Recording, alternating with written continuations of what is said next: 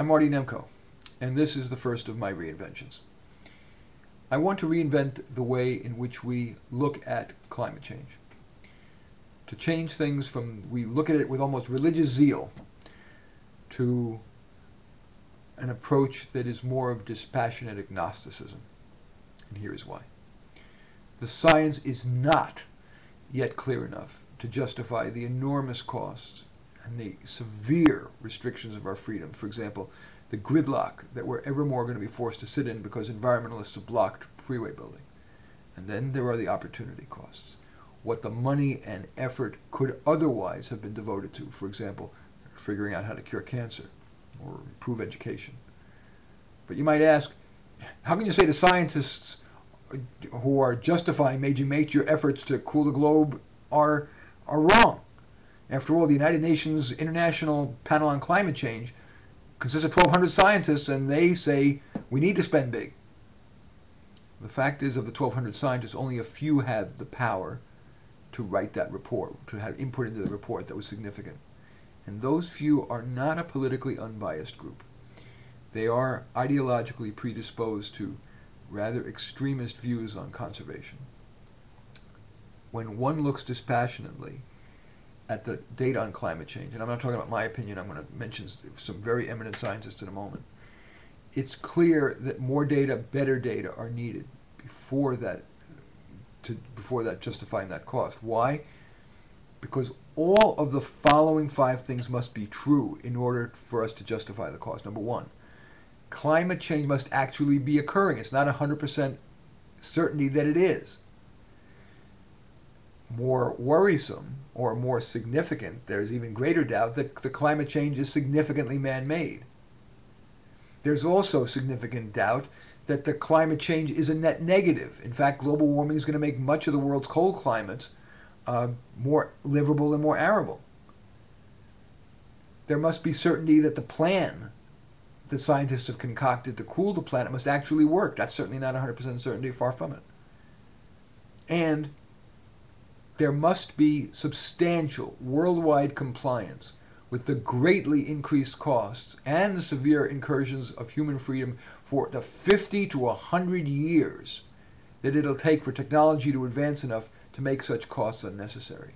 All five of those things need to be true. The joint probability of all of those things occurring is very small. And that assumes additionally that the computer prediction models are valid. And and now I get to mention the scientists.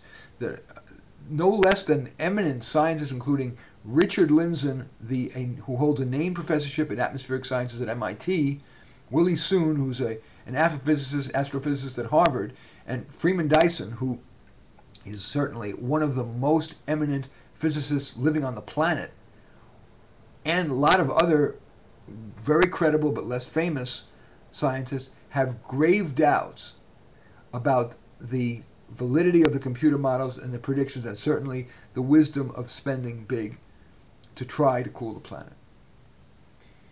Now, certainly there are certain efforts that our environmentalists would embrace that certainly should be done, no question.